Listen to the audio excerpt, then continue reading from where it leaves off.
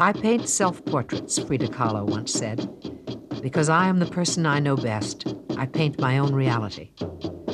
The only thing I know is that I paint because I need to, and I paint whatever passes through my head without any other consideration. Frida Kahlo produced some 70 self portraits, tense, vibrant works that chart not only the changes in her face and feelings, but also the events in her life love, loss, politics, surgery, and most often her abiding passion for her husband, the great Mexican muralist Diego Rivera.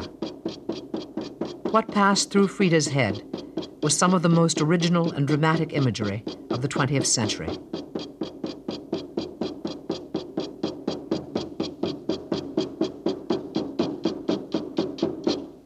Perhaps Frida's most astonishing self portrait is My Birth, in which she portrayed herself emerging from her mother's womb. It is, as she put it, how I imagined I was born.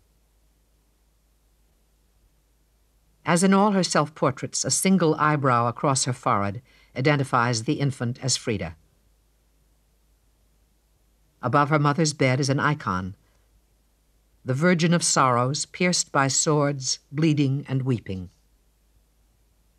Just the kind of imagery that Frida's devoutly Catholic mother cherished. Rivera recognized the courage behind Frida's images. He said Frida is the only example in the history of art of an artist who tore open her chest and heart to reveal the biological truth of her feelings. The only woman who has expressed in her work an art of the feelings, functions, and creative power of woman. The 1937 self portrait, My Nurse and I, is a declaration of faith in the continuity of Mexican culture. Frida, as an adult artist, continues to be nourished by her Indian roots she wrote of the painting I appear with the face of an adult woman and the body of a baby girl in the arms of my Nana. From her nipples falls milk as from the sky. I came out looking like such a little girl, and she so strong and so saturated with providence that it made me long to sleep.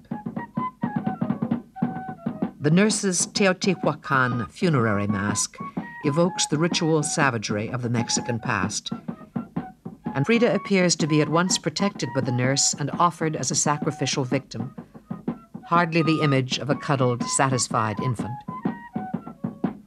She imbibes, along with the milk, a terrible knowledge of her own fate.